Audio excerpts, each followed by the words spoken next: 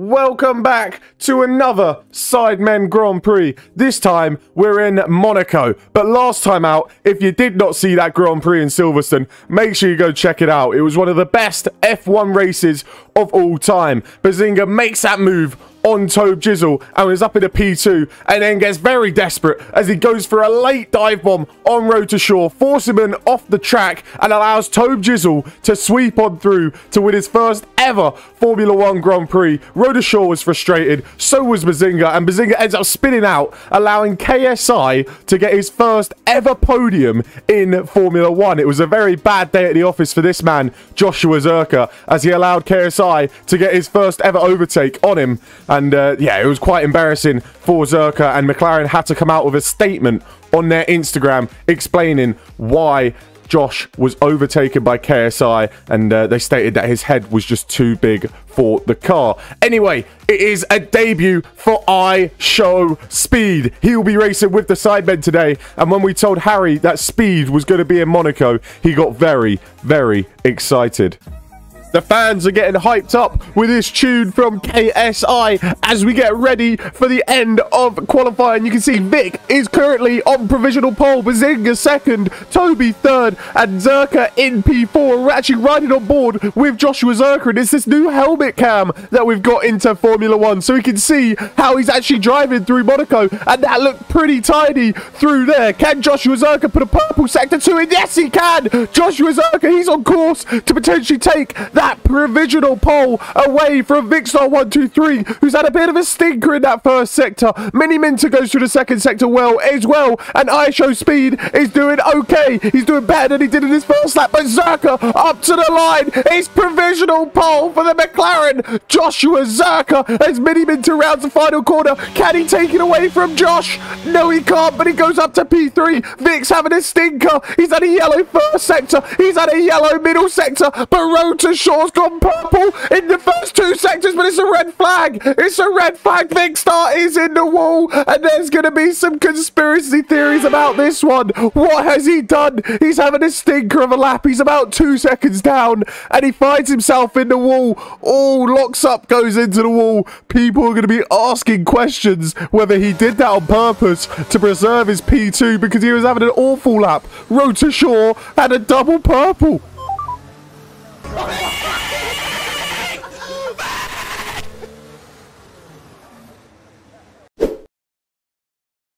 So, Vic, what is your thought on people accusing you of crashing on purpose to hold on to that P2 for Monaco tomorrow? To be fair, though, That is all we could get from Vic's interview, but let's see how Harry is coping after finishing last in Monaco as he meets with his fans. You boys have no life! You don't do anything! You sit in your bedrooms all day, getting old! Your life's withering away!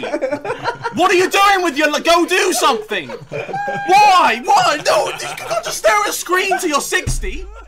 We are here on race day, ready for another Sidemen Grand Prix. Qualifying was a spicy one yesterday, and I'm sure we'll have a great race on our hands today. Vikkstar told Harry to grow up after constantly complaining to the FIA, and we cannot repeat what Harry said back to Vic. Be sure to keep an eye on them if they meet each other on the track. Anyway, here is our starting grid for today's Grand Prix. Joshua Zerkaa on pole position with Vikkstar123 lining up alongside him. Mini Minter in P3 and Behzinga in P4 looking like someone stole the last burger at the barbecue. And by the looks of it, it might have been KSI as he lines up on row 3 with Tobe Jizzle. I Show Speed and Wroetoshaw fill out the back of the grid and I Show Speed said that KSI will not see the end of this Grand Prix. A big change to the Silverstone Grand Prix is that there will be no required pit stop for today's race. And you can see Behzinga and Harry having some words over the radio with each other before the race begins. Vikkstar123 has remained focused, ignoring all of the critics, while Wroetoshaw seeks revenge as he looks to weave his way through the field. But it is Joshua Zerkaa on pole position here in Monaco as they line up onto the grid and the red lights are going. It is four, five red lights in Monaco.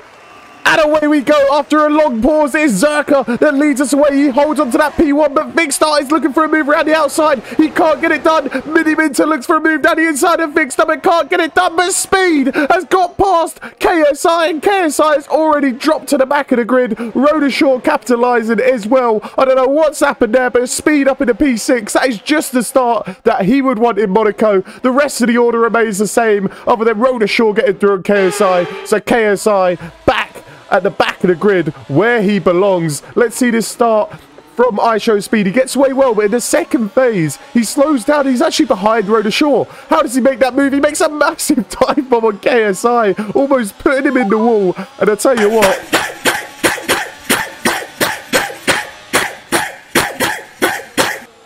as I was saying, I tell you what, that was a feisty move from Speed, and I don't know what drugs he is on, but he was loving it.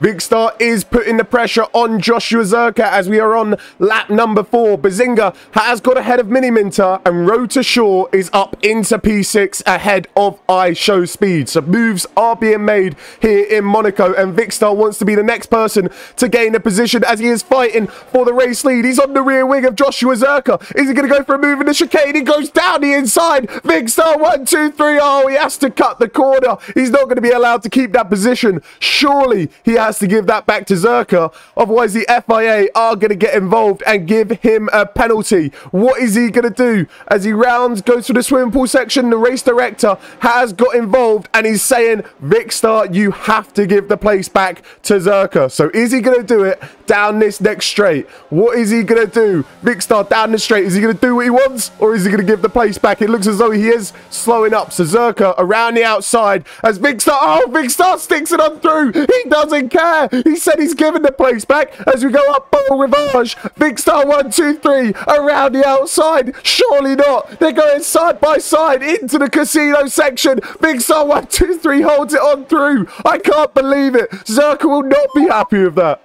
Is it, in, no, I don't understand, bro. I don't understand. I don't understand what has happened. Zerkaa clearly frustrated with Vic, and I wonder if the FIA will be getting involved.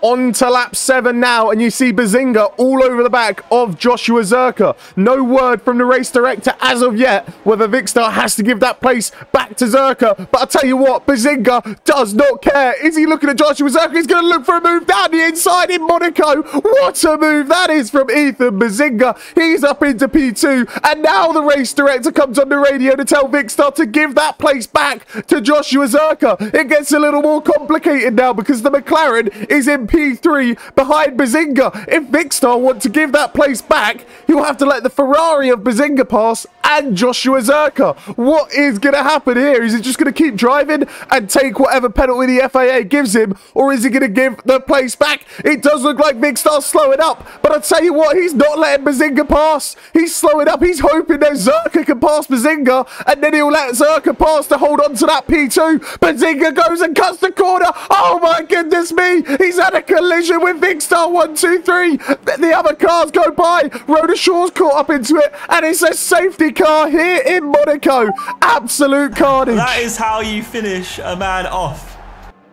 Interesting words from Joshua Zerkaa, but let's have a look at the replay here. Vikkstar 123, he is slowing up Ethan Behzinga in hope that Zerkaa can make a move. And what has Behzinga done here? He goes he goes for the move and he cuts the corner, clips Vikkstar's back wheel, just spins him around. Everybody else says thank you very much. They go on through, and then the safety car comes out. And uh, I'll tell you what, you expect to crash in Monaco, but that was a pretty dumb move from Behzinga as he comes on the team radio. and I'd rather not read out that radio message.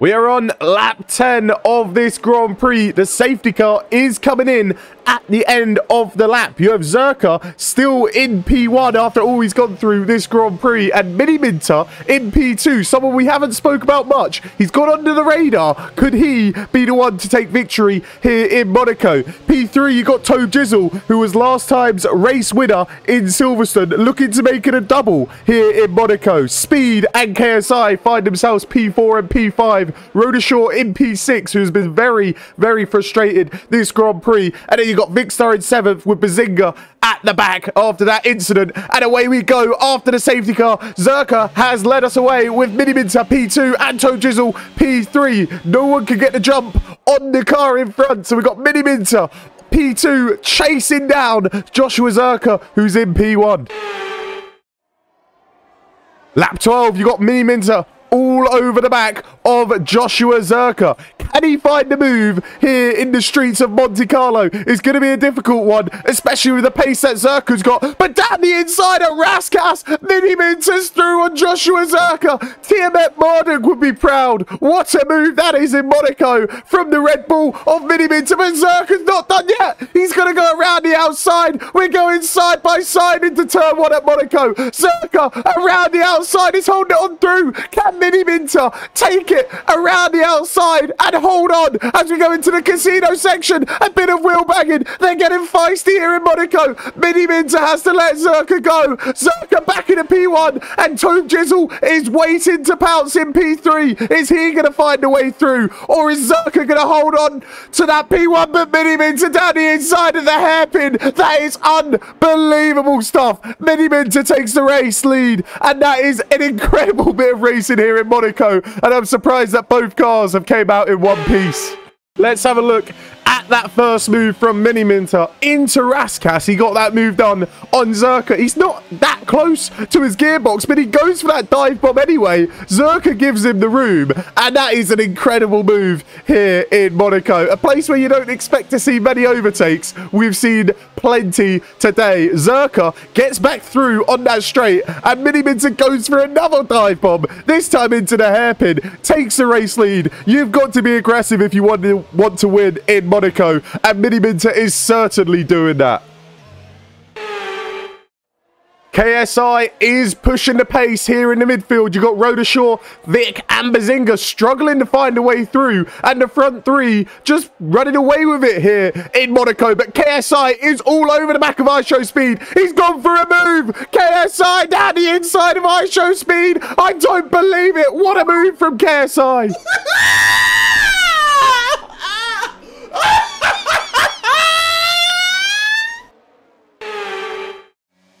Less than three laps to go, and Tobjizzle is trying to find a way past Zerkaa and Mini Minter. It's looking less and less likely as the laps go on, but the odds were against him in Silverstone, and they are again in Monaco. If results stay the same way, Tobjizzle will be the only sideman to get onto the podium in both races, but it's a red flag! It's a red flag! It's iShow Speed in KSI! It was inevitable! As soon as iShow Speed was announced, you knew they were going to crash. What has happened here in Monaco? iShow Speed gets a very good exit. Is it going to look at me on KSI? He just puts him in the wall. He says, see you later. KSI!